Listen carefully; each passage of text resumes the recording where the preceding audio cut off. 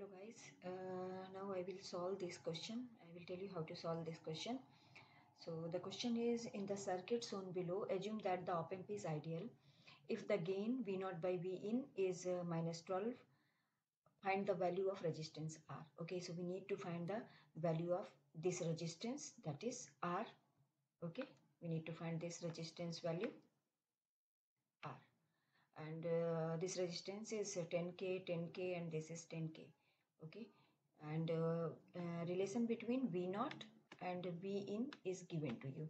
So what we need to do? Uh, we need to just find this value of r for this gain okay? So let's start doing this one.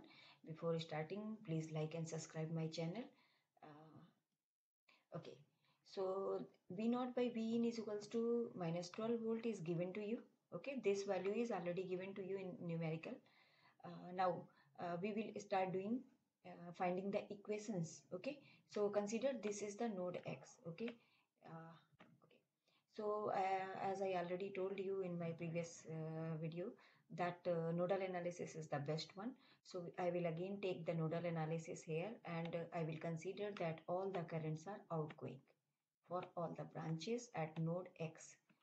You already know the, the summation of currents at any node incoming or outgoing that should be equals to 0 okay? So this is an assumption that i'm taking all the currents are outgoing.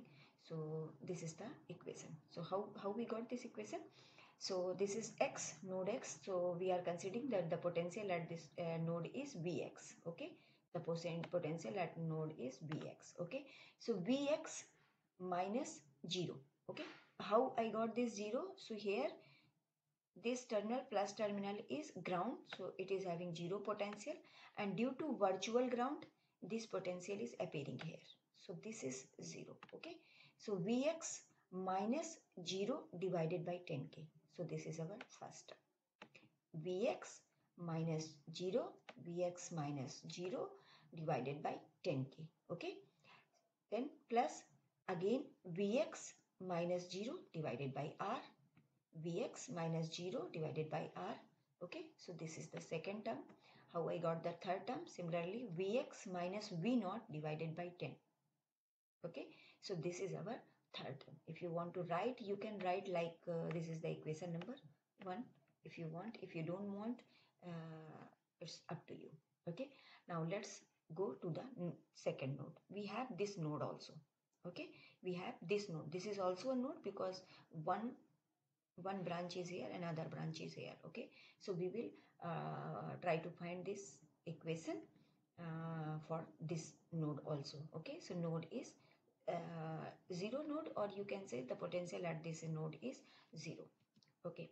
So how we got this uh, this equation this i already explained to you. Now let's come to the this equation.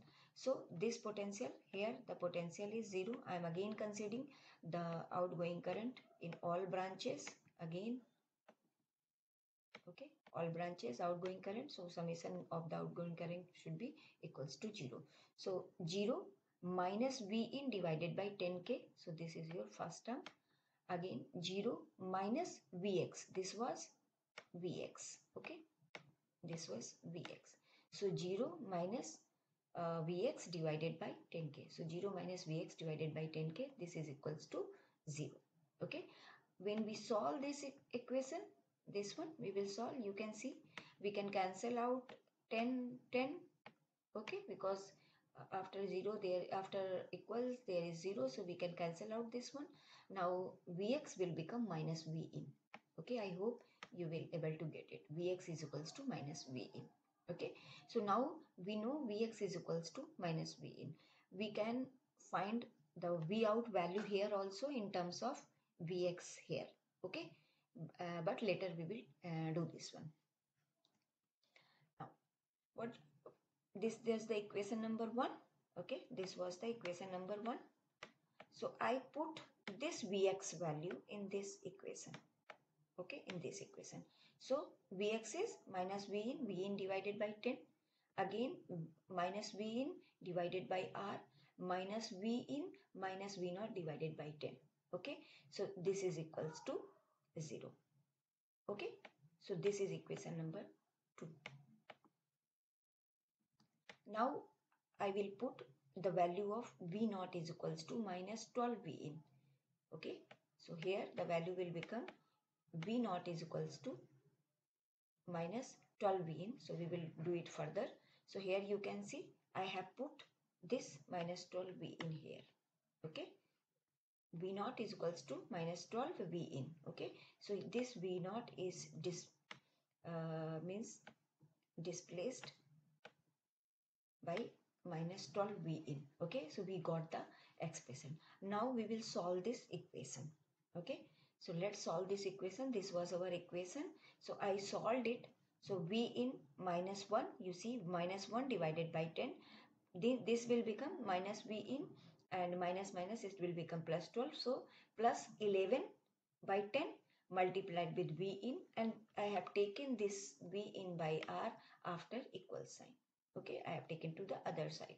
So v in by r. Now now since v in is here v in is here so you, if you want to cancel out you, it will be cancelled out. Here minus 1 uh, divided by 10 plus 11 by 10 it this will become 10 by 10 so r is equals to 1k so your answer is 1k okay?